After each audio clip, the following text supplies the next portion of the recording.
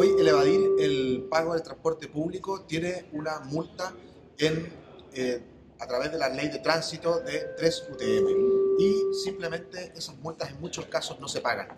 Lo que hemos hecho con este proyecto de ley es crear esta falta en el Código Penal, elevar las multas de 5 a 10 UTM y entregarle la facultad a los jueces para que puedan conmutar esas multas por trabajo comunitario. Aquí eh, todos tienen el derecho de protestar, todos tienen el derecho de reclamar, pero se tiene que hacer de buena forma y sin afectar los derechos de otros ciudadanos. Y por eso hemos presentado este proyecto de ley que finalmente lo que busca es que se incorpore también al proyecto de ley de visibilidad del proyecto del presidente Piñera.